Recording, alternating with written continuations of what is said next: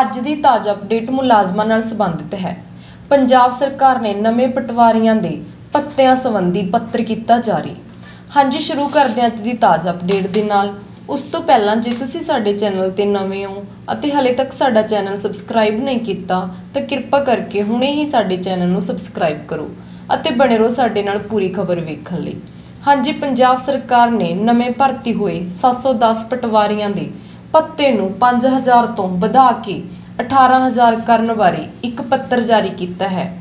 ਤੁਹਾਨੂੰ ਦੱਸ ਦਈਏ ਕਿ ਕੁਝ ਦਿਨ ਪਹਿਲਾਂ ਹੀ ਸੀਐਮ ਭਗਵੰਤ ਮਾਨ ਨੇ ਮੁਲਾਜ਼ਮਾਂ ਦੀਆਂ ਮੰਗਾਂ ਨੂੰ ਸਵੀਕਾਰਦੇ ਹੋਏ ਇਹ ਬਿਆਨ ਜਾਰੀ ਕੀਤਾ ਸੀ ਕਿ ਹੁਣ ਸਰਕਾਰ ਨੇ ਪਟਵਾਰੀਆਂ ਦਾ ਪੱਤਾ ਤਿੰਨ ਗੁਣਾ ਵਧਾਉਣ ਦਾ ਫੈਸਲਾ ਕੀਤਾ ਸੀ ਅਤੇ ਹੁਣ ਸਰਕਾਰ ਨੇ ਇਸ ਵਾਰੀ ਇੱਕ ਪੱਤਰ ਵੀ ਜਾਰੀ ਕਰ ਦਿੱਤਾ ਹੈ, ਜੋ ਕਿ ਇੱਕ ਬਹੁਤ ਹੀ ਵਧੀਆ ਕਦਮ ਹੈ।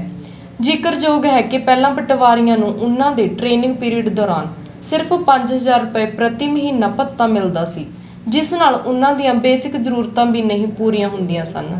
ਹਾਂਜੀ, ਇਹ ਸੀ ਅੱਜ ਦੀ ਇੱਕ ਵੱਡੀ ਅਪਡੇਟ ਇਹੋ ਜਿਹੀਆਂ ਹੋਰ ਖਬਰਾਂ ਵੇਖਣ ਲਈ ਜੁੜੇ ਰਹੋ ਸਾਡੇ ਚੈਨਲ ਦੇ ਨਾਲ। ਅਤੇ ਜੇ ਤੁਹਾਨੂੰ ਸਾਡੀ ਇਹ ਵੀਡੀਓ ਵਧੀਆ ਲੱਗੀ ਤਾਂ ਵੀਡੀਓ ਨੂੰ ਲਾਈਕ ਤੇ ਸ਼ੇਅਰ ਕਰਨਾ ਨਾ ਭੁੱਲਣਾ ਅਤੇ ਸਾਡੇ ਚੈਨਲ ਨੂੰ ਸਬਸਕ੍ਰਾਈਬ ਕਰਨਾ ਨਾ ਭੁੱਲਣਾ।